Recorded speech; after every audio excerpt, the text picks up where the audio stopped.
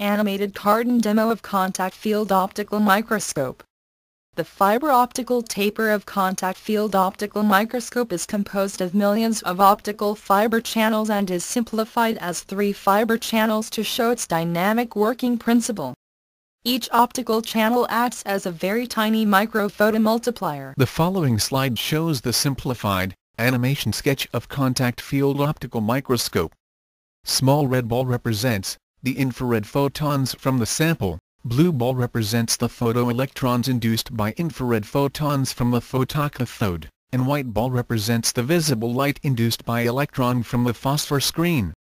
As we can see, a electron entering the microchannel plate was multiplied tens of thousands times.